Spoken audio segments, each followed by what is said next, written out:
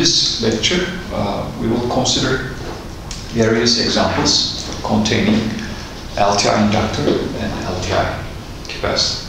The first example is uh, a circuit where we can analyze using initial condition model. Okay, suppose that we have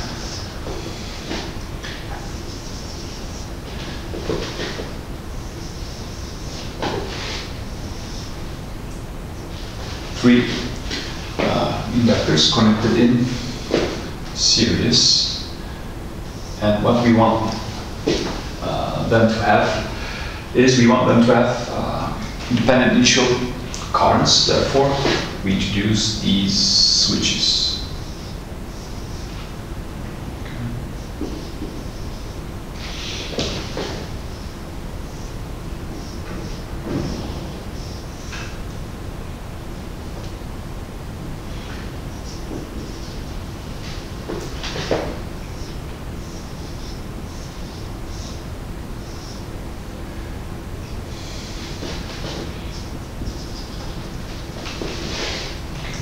This is L1, L2, and L3. And the currents are labeled as I1, I2, and I3. Okay. So, uh, okay, so initially we have I1 0 minus equals something, I2 0 minus equals something that we call I2 and I3 0 minus equals I3. Because of that all the switches are closed uh, initially, then KCL puts no constraints on the inductor currents, therefore the initial inductor currents and uh, the initial inductor currents can be independent. Now what happens is the following. At some time, and without loss of generality, but we can take that time to be t equals 0, all the switches simultaneously open. Okay. And once all the switches are open, all of a sudden, these three components, these three inductors, become in series connection. And KCL puts the constraint that all those currents must be the same.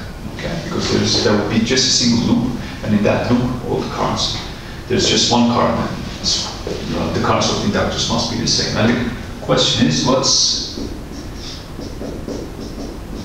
that current? Okay, what's I1 0 plus, or I2 0 plus, or I3 0 plus, because all those values must be equal to one another. Now let's use initial condition model. Okay, let it be our solution one. We can also approach it uh, so from a slightly different way too. So use the initial condition model.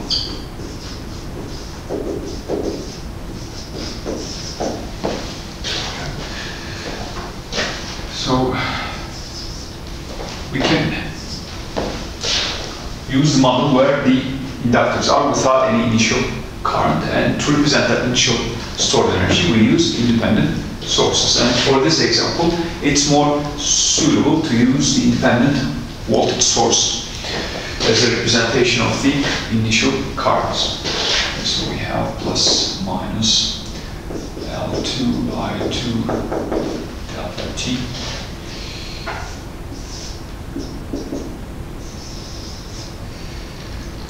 L1, I1, delta T.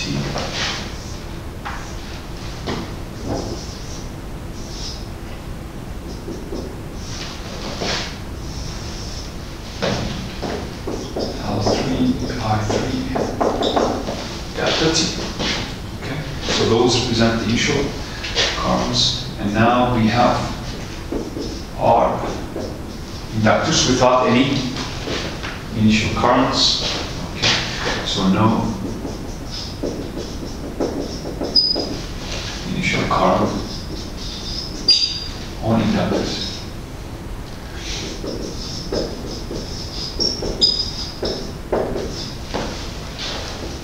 And in this loop, all the currents are the same, and let's call that current I of t. Okay. Now we try to figure out what I zero plus is.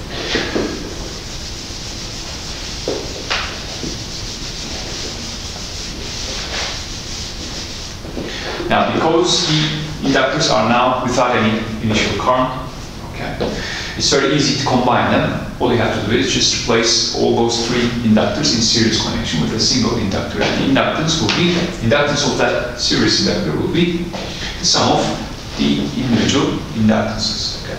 And also, these voltage sources can also uh, be easily combined. They're in series connection, therefore they can be replaced by a single independent voltage source whose voltage equals the sum of individual voltages. So with after that simplification, the circuit becomes equivalent to this very simple topology.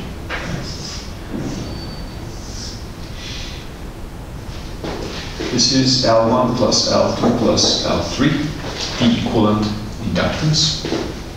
And this is IT.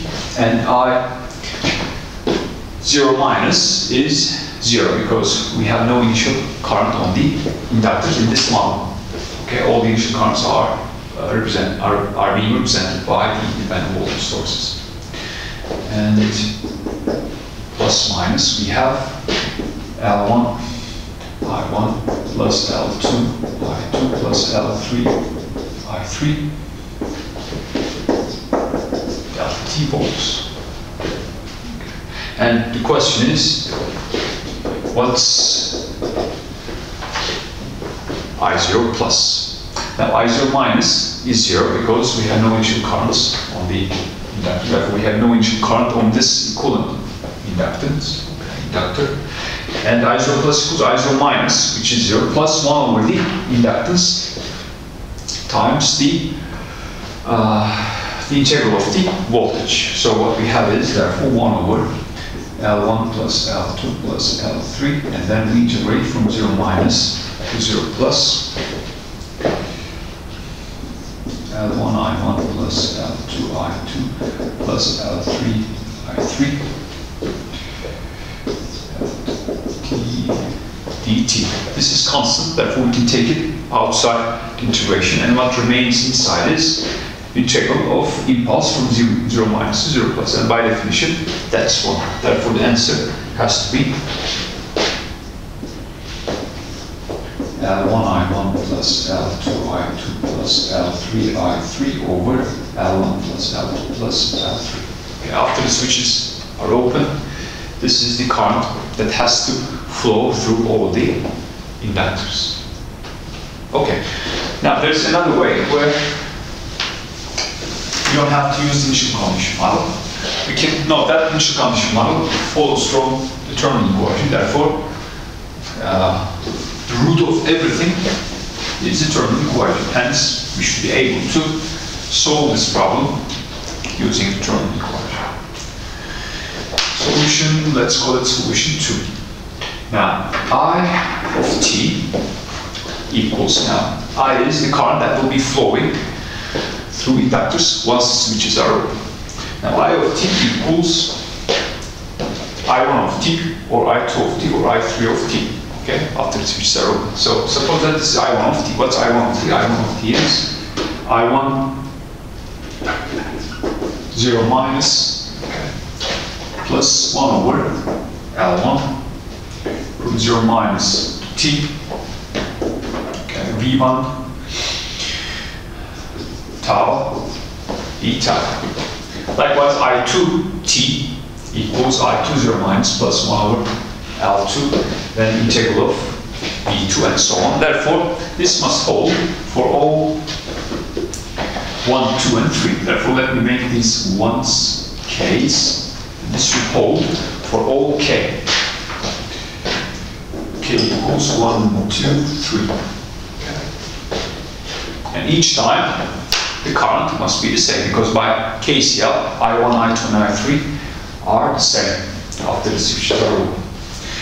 Therefore, we can write 0 minus to t vk tau d tau equals lk it minus lk ik.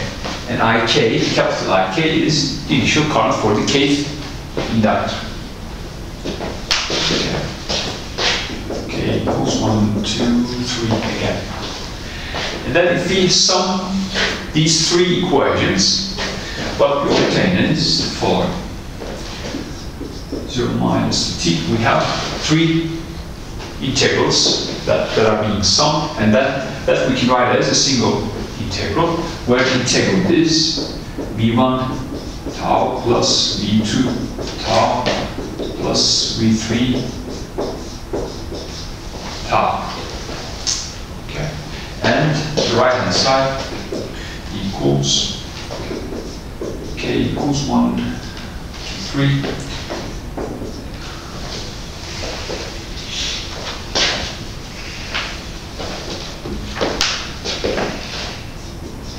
Lk it minus lk ik. Okay, now we have to observe critical thing, and that will give us immediately the answer. And that critical thing is that some of these three voltages, V1 plus V2 plus V3, because they represent the voltages of three inductors which appear on the loop by KVL equals zero this thing equals 0 by KVL. So we, the integral in this integral is 0, therefore the integral itself is 0. Hence, this thing must equal 0.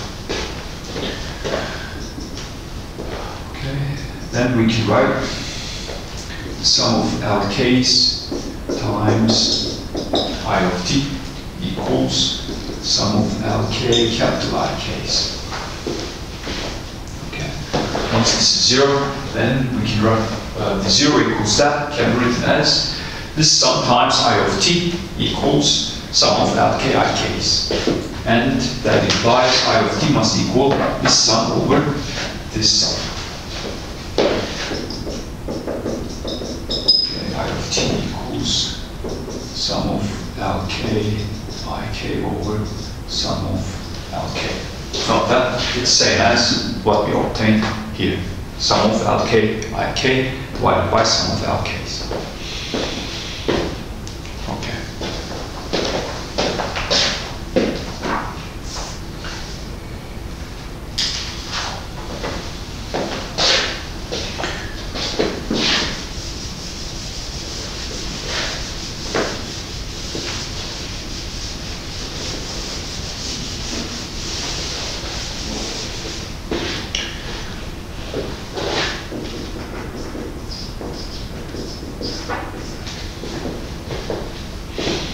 Now consider the following circuit,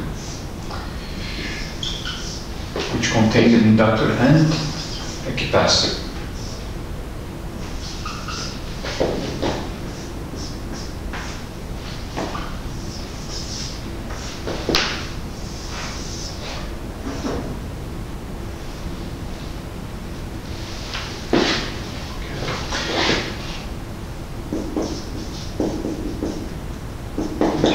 impulsive voltage source here.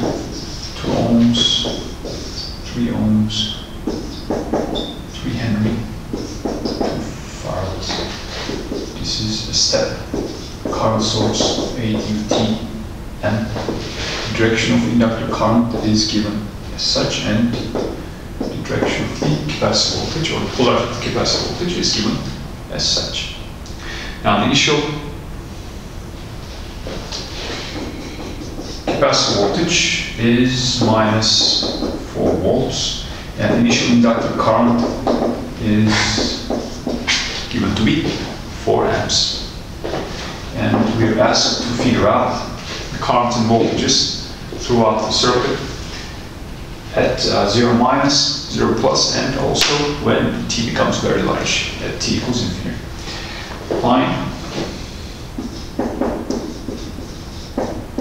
All branch voltages and branch currents at t equals 0 minus, t equals 0 plus, equals E3. Okay, so let's start from 0 minus the first time.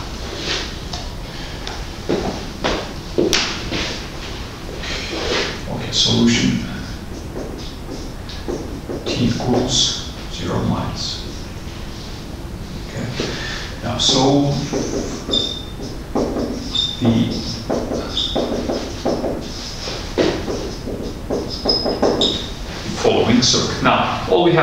realize is what the values are that are taken by the independent sources. Okay, and then with that information, we also know the voltage and current of the capacitor and inductor, respectively, and then the circuit just becomes an LTI resistive circuit.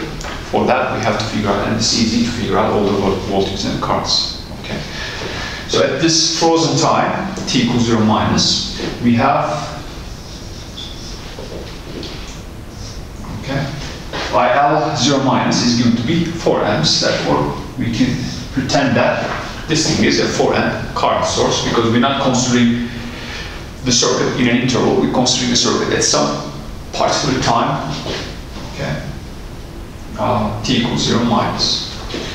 This is current source. Capacitor can be represented by voltage source. Okay. Then we have our sources here. Okay, so this is 2 ohm, this is 3 ohm. And now this represents inductor. The direction is pointing down, therefore the direction is pointing down. IL0 minus is 4 amps, therefore it's a 4 amp current source. This represents the capacitor. Capacitor voltage is minus 4 volts. Polarity is plus minus, therefore here we have minus 4 volts. Now, as for the impulse this impulse voltage source and uh, step current source. Note that we're considering the time at zero minus. It's a negative time, very close to zero, but still negative. Therefore, the argument of this impulse is negative. When, when that's the case, this is just zero, okay, by definition. And likewise, this step, its argument, when its argument is zero, uh, excuse me, when its argument is negative, by definition, it's zero, therefore 8 times zero, is also zero. Hence, at t equals zero minus, this voltage source provides zero volts, and this current source provides zero amps. A voltage source providing zero volt is same as short circuit, and a current source that provides zero same as an open circuit. Okay.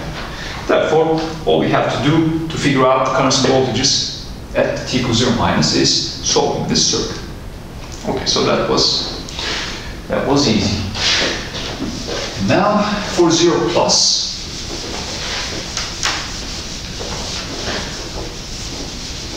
We have to be careful because we have some discontinuous independent source here and also impulsive independent source over there. Because of those sources, we may experience certain jumps or discontinuities at capacitor voltage and inductor current, and we have to figure that out.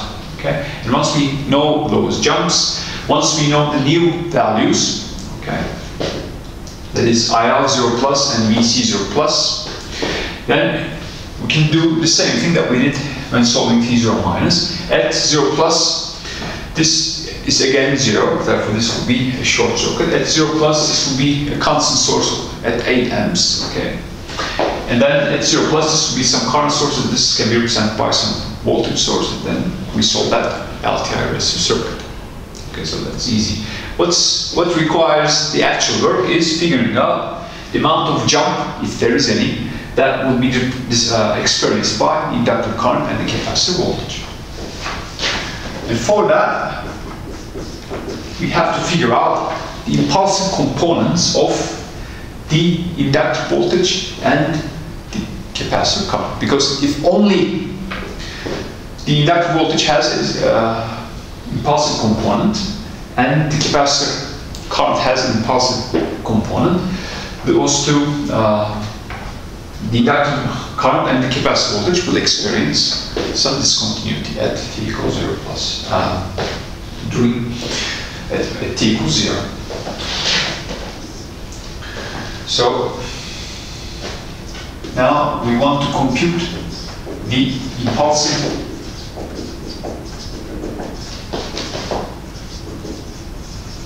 components of inductor current and capacitor voltage. Okay, now this is our circuit.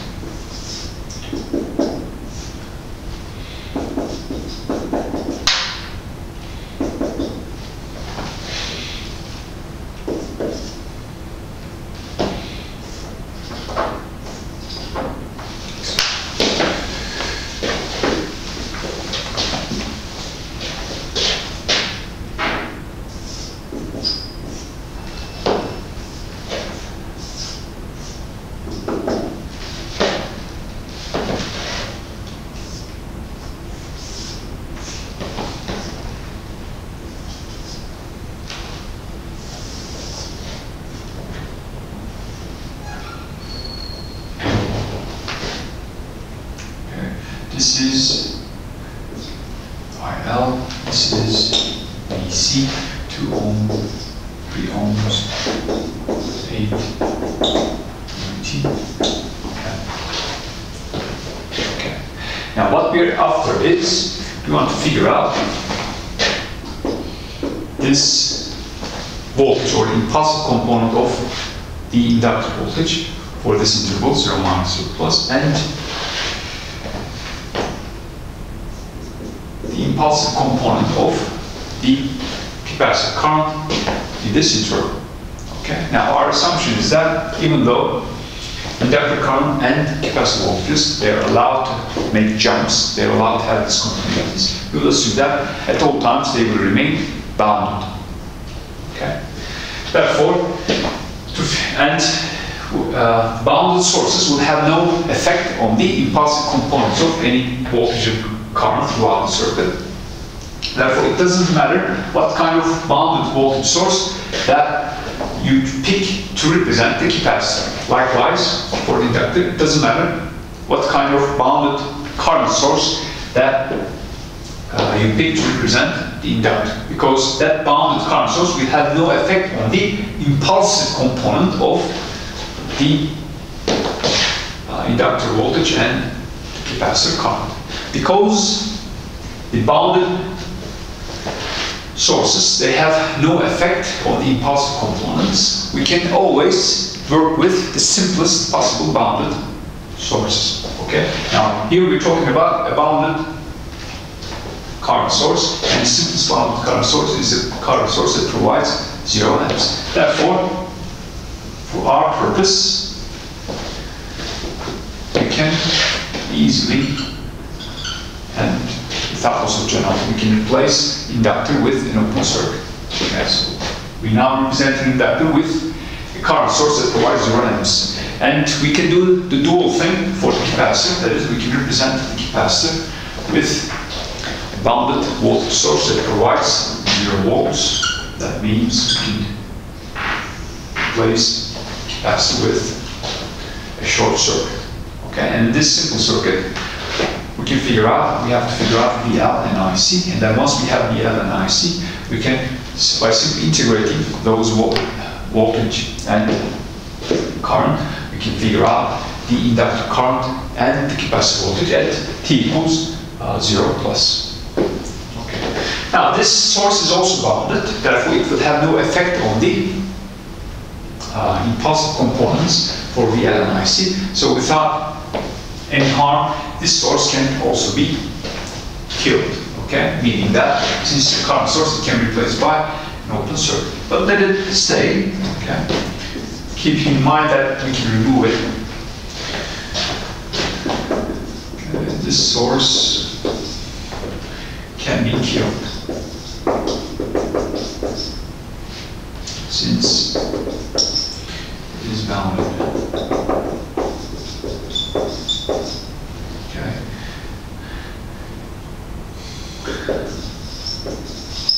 therefore has no effect. Okay, there's no contribution to the possible components.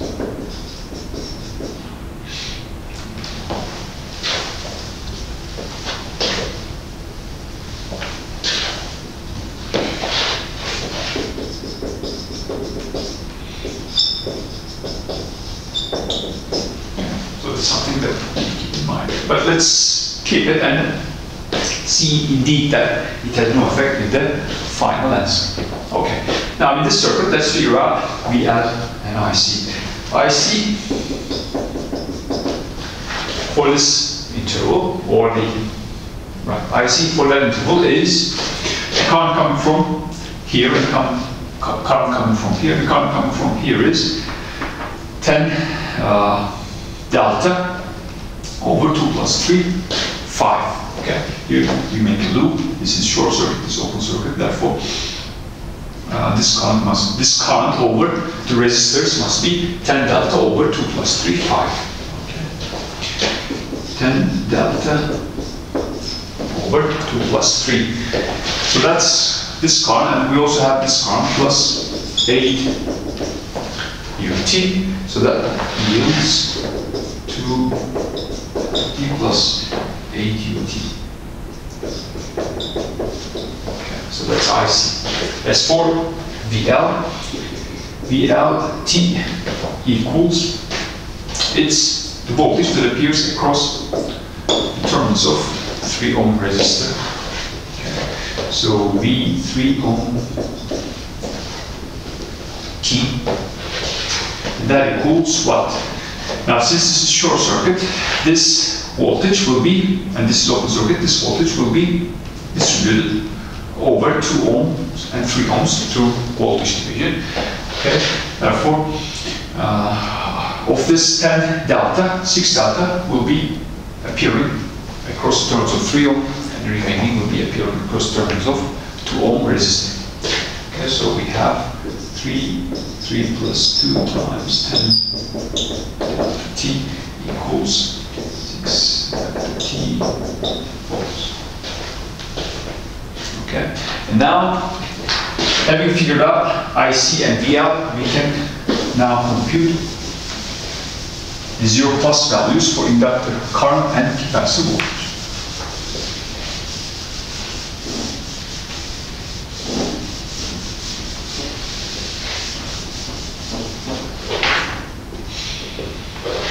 Okay, now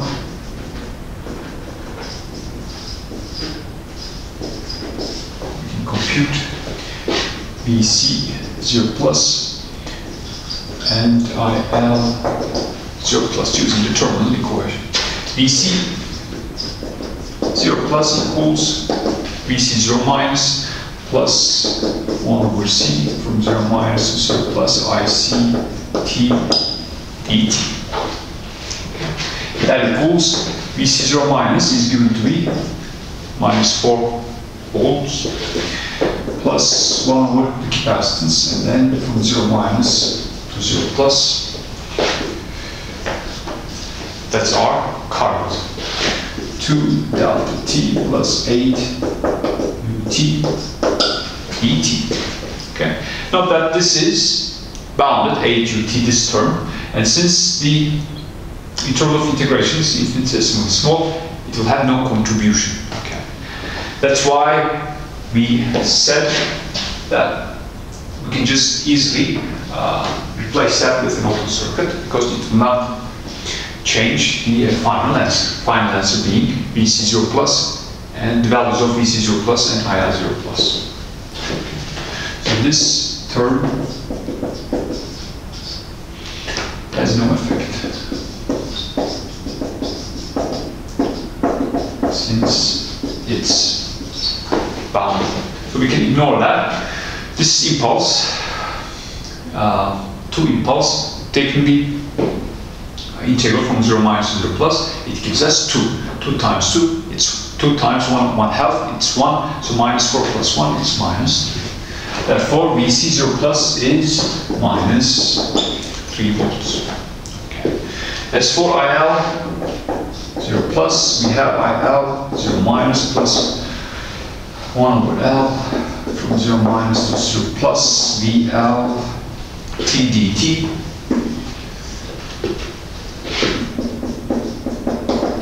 that's what IL0 minus is given to be 4. And then 1 over L is 1 over 3. And then we integrate from 0 minus to 0 plus the voltage, which is 6 delta T dt. This produces 6 times 1 third is 2, plus 4 is 6. So 6 amps is what the inductor current is at t equals 0 plus.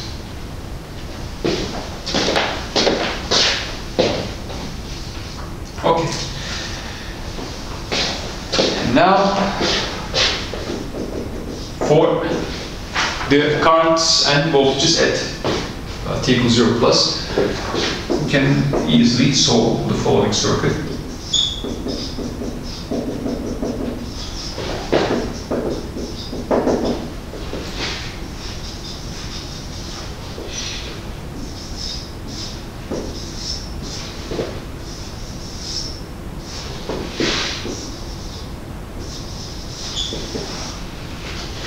Okay. So at t equals 0 plus, because a positive time, the impulse becomes zero. Okay. A voltage source, uh, voltage source producing zero volts is equal to short circuit. Therefore, we have short circuit for uh, that source. And then this is two ohms. This is three ohms. As for the inductor, its current at t equals 0 plus is 6 amps. Therefore, this is a 6 amp current source. For the capacitor, we have a minus 3 volt source here. And it's for this guy, at 0 plus, the argument is positive. Therefore, the step produces 1. 8 times 1 is 1. Therefore, this guy is an 8 amp current source. And then this is an anti-RSC circuit. We can find all the currents and voltages easily. Okay, so that takes care of t0 minus and t equals 0 plus. And how about t equals infinity?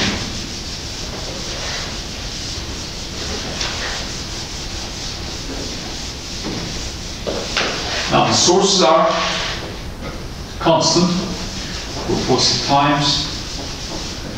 Therefore, the circuit, assuming that the circuit uh, will reach DC steady state, we can approach the problem following angle. Okay, t equals infinity. The only remaining source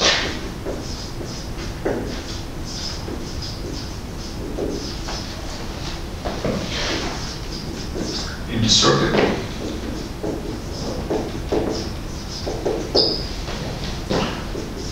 for t positive is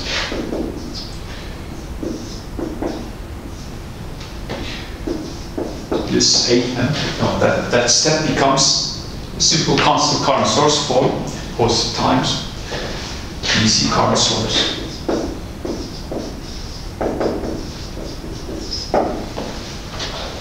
Okay. And assuming the circuit reaches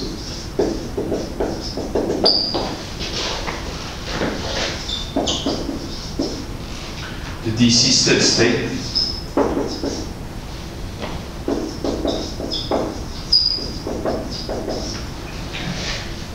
And by DC steady state eh, we mean, or a circuit that has reached DC steady state, eh? we mean a circuit where all the branch currents and voltages are constants. Okay. So every voltage and current becomes constant in this state. As t goes to infinity,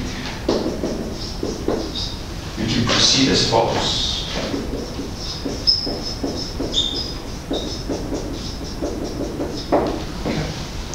Now, the condition that every voltage and every current is constant, will immediately give us the following simplifications for the capacitor and inductor. And that follows from their terminal equations.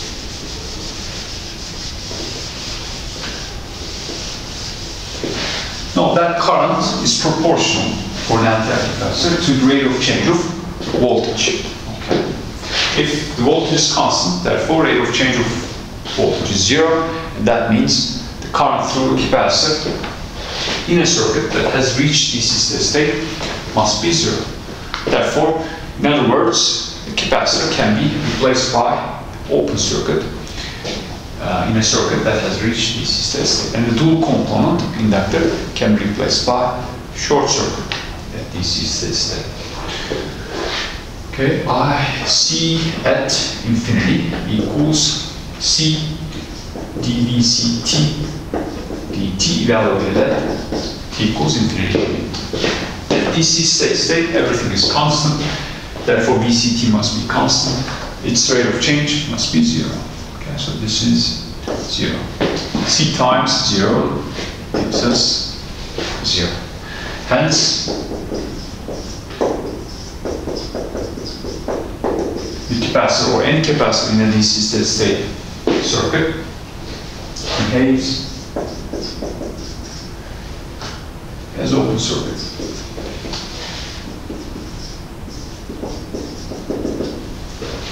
At DC steady state.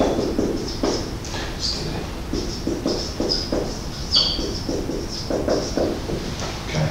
And then for the dual component, we can make dual statement. VL infinity is L DIL dt evaluated at equals infinity. At steady state, everything is constant, therefore this current is constant. You're taking the derivative of a constant signal, therefore this is zero. Hence, VL at t equals infinity is zero. Okay, zero voltage means that that component is now behaving like a short circuit.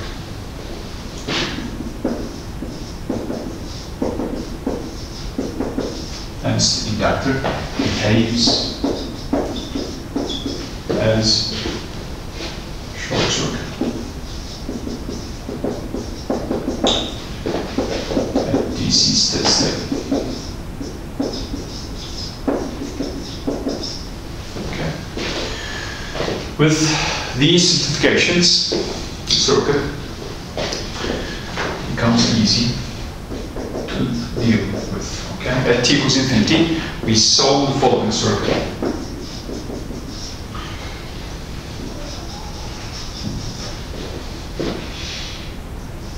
Okay, we have the current source,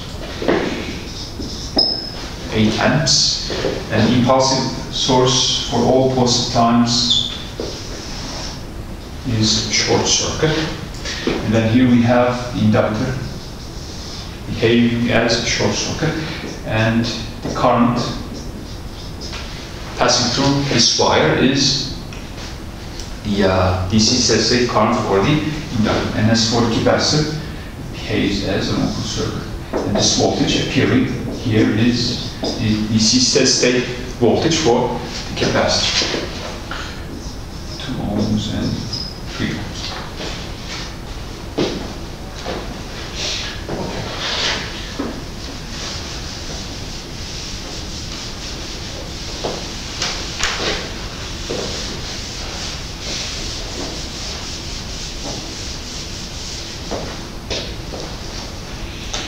Here is our next example.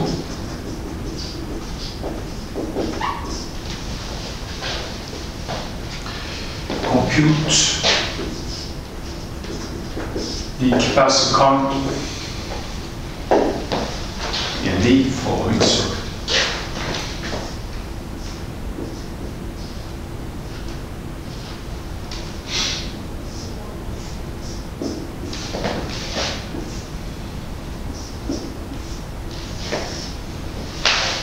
Here we have a battery, 10 volt uh, independent voltage source. Here we have a capacitor, DC, IC, and the capacitance is 2 farads. Initially, those two components are isolated because the switch is open, and then at Equals 0, the switch is closed, which forces two components become parallel or series, depending on how you look at it, and immediately KVL will put some constraints on voltages. The initial capacitor voltage is 4 volts. Okay. Now, there's nothing to compute really regarding the capacitor voltage. It's 4 volts initially, okay? And as long as the switch is open, it will always remain at 4 volts because this is open circuit, the current is zero. Current zero means voltage is not changing, okay? It will remain forever if nothing happens at 4 volts. But something does happen at t equals 0, and that something is switch being closed. When the switch is closed, this is 10 volt, and this is parallel, the capacitor, the capacitor becomes parallel to the uh, independent voltage source, and by KVL, therefore VC must automatically jump to 10 volts and will remain there for all future times. Okay. Hence,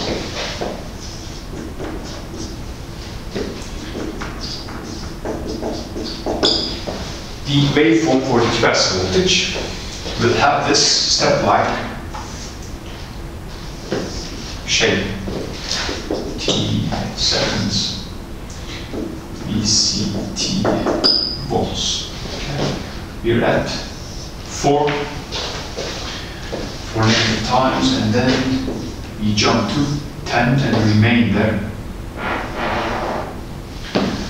at t equals zero. Capacitor voltage jumps from 4 to 10 at t equals 0. So this means we can write capacitor voltage easily in terms of one of our elementary functions. It's okay, it's 4 and then at t equals 0 it experiences a jump, a positive jump of 6 units. And that we can express as 4 plus 6 times the unit step, 6 UT.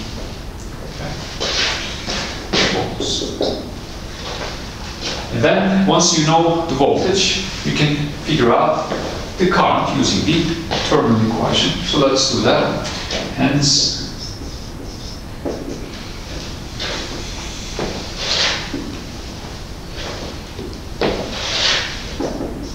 ICT equals C dVC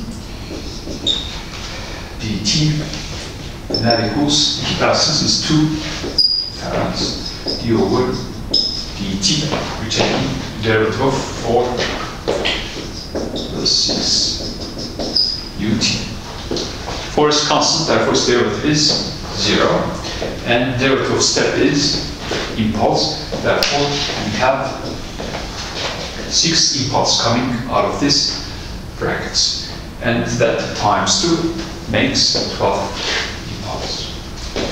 Okay, 12 delta t amps. So that's our capacitor current. Now, in the follow-up example, we have the following circuit, which can be reduced to what we have just dealt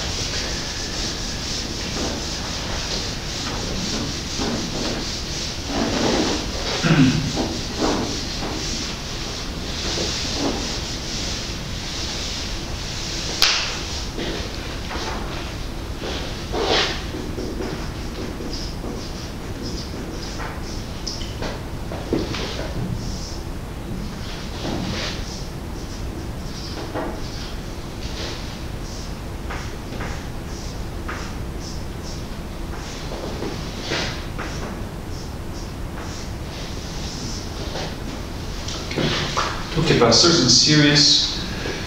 There's a switch initially opened, and here we have the battery of 10 volts. Switch closes at t equals zero. This is three farads, six farads. Okay, V1, and this voltage is labeled as V2. And V1 initial is 3 volts. V2 initial is 1 volt and we're asked for V2T. Four positive times, okay, four after the switch is shut. Now this is equal to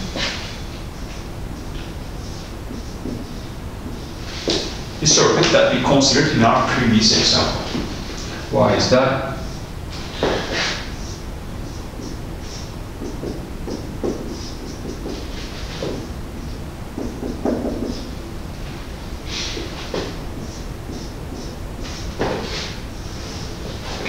we have 3 farad and 6 farad in series. Therefore, the equivalent capacitance will be 1 over 1 over 3 plus 1 over 6. Okay, so 1 over 3 plus 1 over 6 makes 1 over 2. Then you take 1 over 1 over 2, that gives you 2 farads. Okay, so here we have 2F. Let's call this voltage AC, which is V1 plus V2. And let's call this current IC, which is I1 and also I2 because the uh, capacitors are in series. And how about VC 0 minus in this representation? VC 0 minus must equal V1 0 minus plus V2, V2 0 minus. So we have 3 plus 1 equals 4.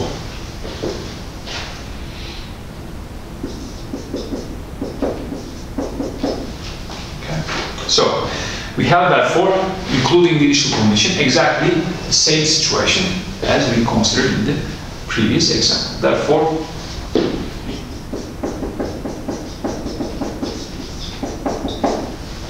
the current passing through the capacitors here must be 12 delta T amps. Okay, and once you know the current of a capacitor, you can easily compute the voltage because you know the initial condition. Therefore, V2 of t equals V2 initial, V2 0 minus, plus 1 over the capacitance, which is 1 over 6, 0 minus to t, and then you're integrating uh, the current I2 of uh, tau. And I2 and I1, they're equal, and they must equal to the current passing through this wire here, IC. Hence, we have IC tau d tau here. Okay. That equals VC0 minus was 1 plus 1 over 6. And then 0 minus t 12 delta tau.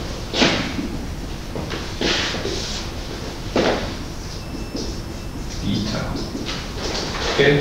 This produces 12 times 1 over 6 is 2 plus 1, that makes 3. Therefore, V2T is 3 volts for all T positive. Okay. Now, in our last example, we're going to consider a bank of capacitors and resistors.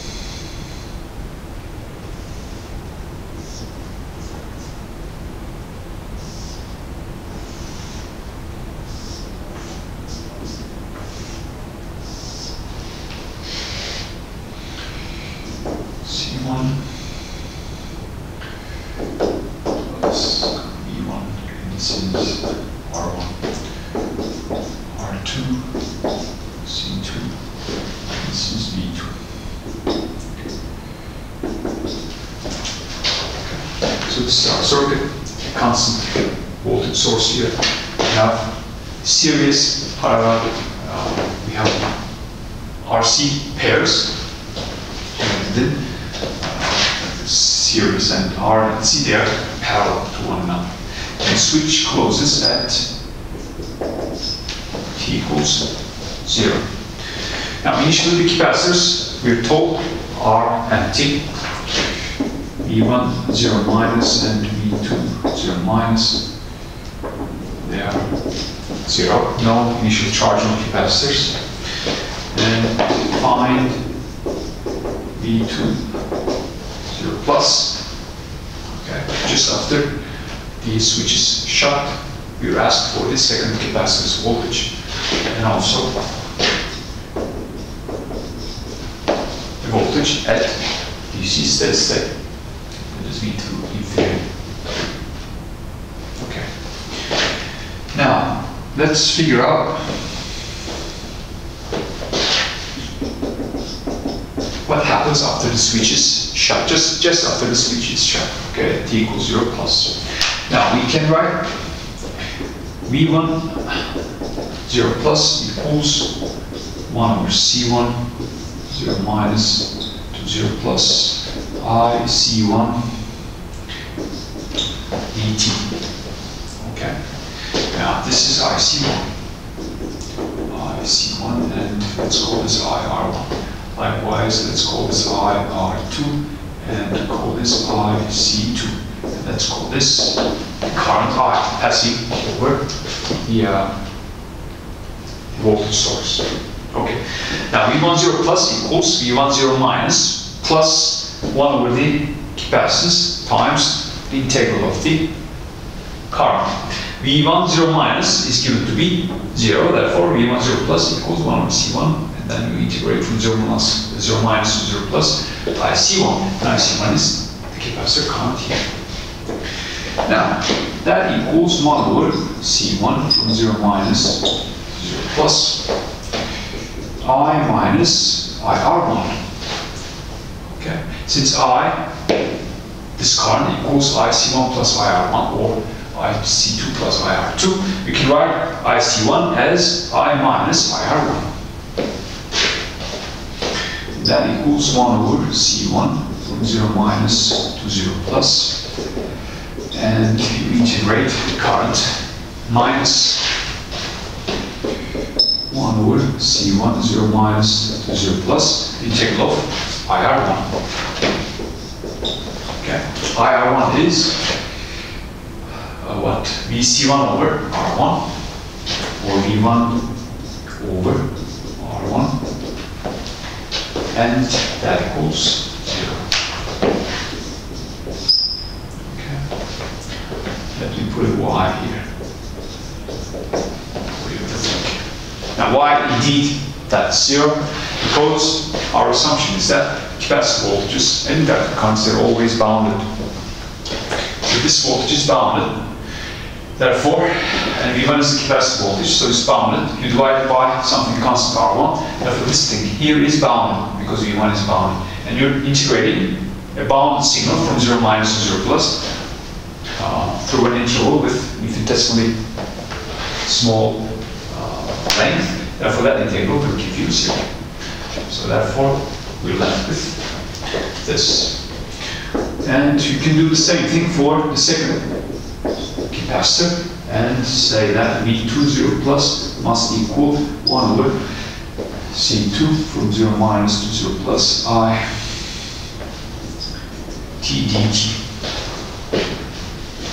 Okay. So combining this, that gives us the ratio of V10 plus to V20 plus.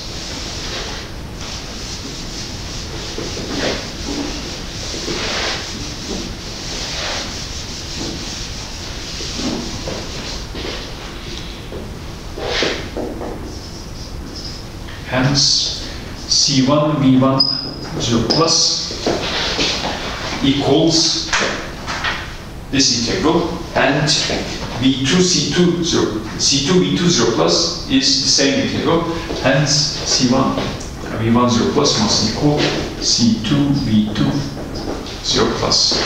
Okay. And also 0 plus means this switch is shut. Therefore the KVL is now active. Okay. It puts constraints on our voltages that is V1 0 plus plus V2 0 plus must equal 10 volts. Okay, the voltage of the battery. And combining these two equations yields V2 0 plus equals C1 over C1 plus C2 times 10 volts.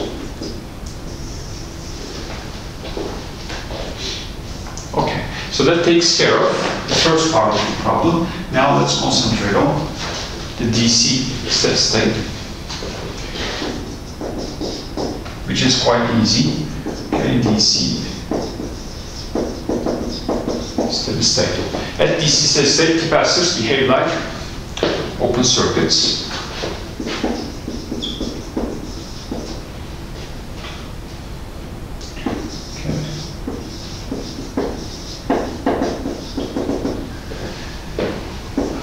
That means here the old current will be flowing over R1 and here old current will be flowing over R2 and therefore we can simply uh, figure out the voltages by voltage division. So V2 infinity therefore equals okay, this voltage appears uh, across terms of the capacitor is R2 over the overall resistance seen by the voltage source, which is R1 plus R2 times voltage of